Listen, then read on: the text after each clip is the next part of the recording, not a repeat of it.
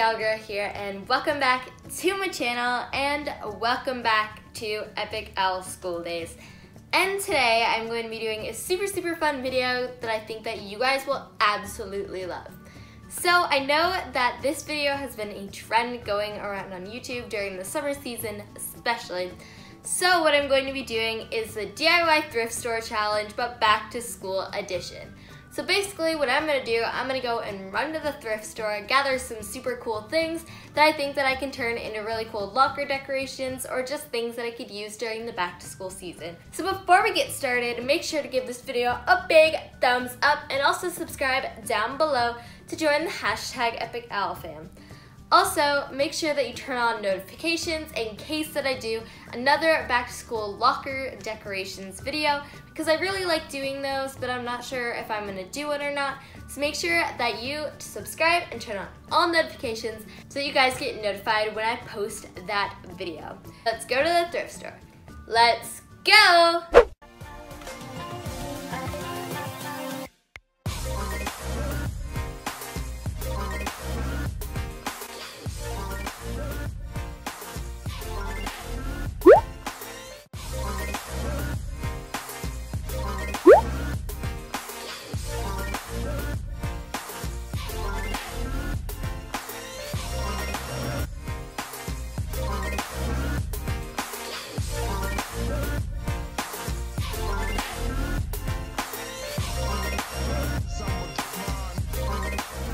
We are back from the thrift store and we have so many things in these bags. Well, the things that you guys just saw me pick out. So let's start with this bag first. So turns out we actually went to two different thrift stores that were like right across the street from each other.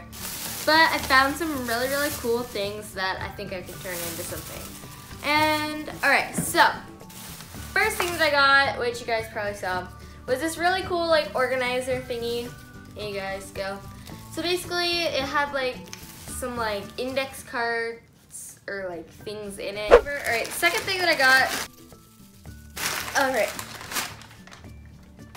it only went like two feet. Alright, second thing that I got is a super cute pink pot. If you guys saw it in the videos, um, I was going to pick out a gray pot. Then I found this super cute pink one, and it was like, I think it was like three to four dollars less and it is super, super cute. All right, next thing that I got was this frame because I thought that I could do something like a calendar or just something really cool. All right, so that is my things that we got. Oh, geez, it's falling apart. All right, I'm just gonna put that down like that. And in the next bag,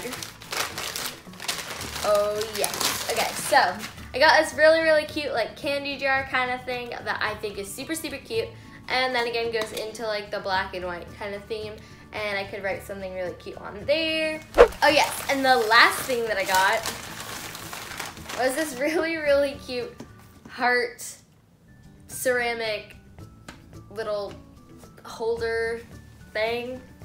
What would you call this? Like um, this is only like a dollar and it is super cute and I can definitely decorate it. So here are the five things that we got and I think that it is going to be time to start DIY.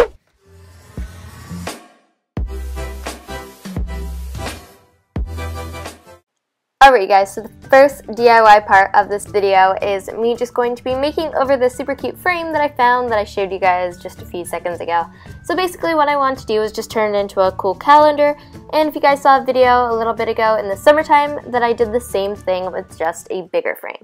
So I want to just make a cute like calendar, whiteboard kind of thing with this frame. So what I took was just the top of a cool, cute card, like just a normal like birthday card or something, and then I put some washi tape on the edges just so that it filled up the rest of the space and so that it would give a little bit of a cute touch on the edges. So I measured it out and stuck it on the back of the frame because it wouldn't fit onto the normal thing. Then what I did was I just added a little bit more washi tape and made sure that it all looked okay.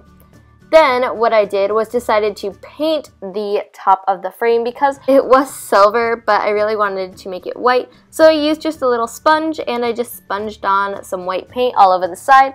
Unfortunately, you can't paint on this, but I think it looks really, really cute.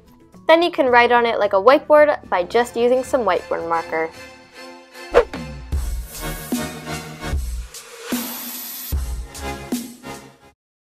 So the second DIY that I was making was a super super cute kawaii strawberry pot and I just started off with this pink pot that I bought at the thrift store and I just added a little kawaii face by just doing two eyes and then a little kawaii mouth. And also you can add some pink cheeks while you're at that. And now it is time for us to go on to the next step. Actually, instead of doing like some like round cheeks, I did like little like blushing like line, oval kind of things. And then I just took like this, I think it's actually a nail polish pen but um, it worked and it was good. But if you have any sort of like white marker that will show up on the ceramic, then you can just add little tiny seeds that are kind of like raindrop shapes, but just all over and randomly. And I think that this turned out so cute, but there was one more thing that we added as well. Then I just decided to make a little flower crown on the top using some Sharpies and also some green nail polish and I thought that this looked really really kawaii and I think that the flower crown turned out really good. Instead of a flower crown though, it was just kind of like green leaves and stuff like that, but I think that that looked really good because it looked like the strawberry leaves. And now it is time for the next DIY.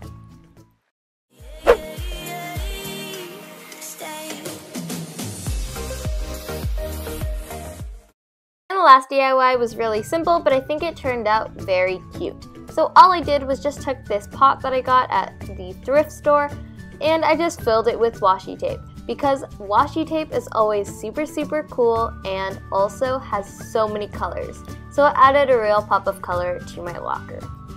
Another thing that I did was just use some colored Sharpies and just did some polka dots around the outside and I used Sharpies so that they wouldn't come off if it ever got wet or anything like that.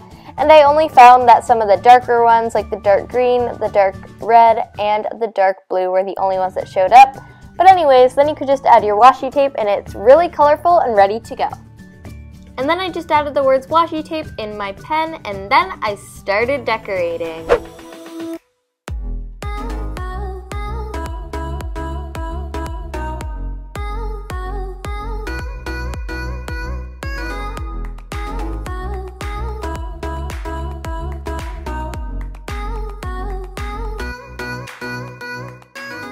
And I hope you guys enjoyed this video. I know that I did and I really really liked going to the thrift store and trying something different on this channel. So stay tuned for another video before next Wednesday. If you guys want to see it, make sure that you subscribe and turn on all notifications so you don't miss when I upload. And give this video a big thumbs up and I'll see you guys next week. Bye!